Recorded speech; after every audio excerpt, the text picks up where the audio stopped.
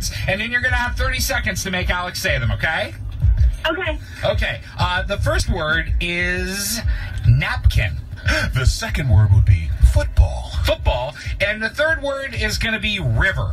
So Okay. napkin, football, and river. You think you can do it? Yes.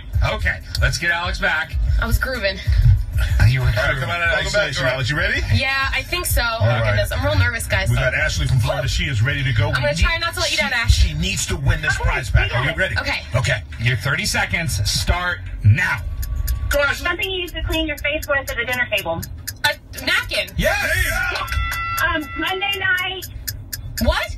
She said. Monday night. Monday Football. Yes. yes, yes. Go, Ashley. And last one.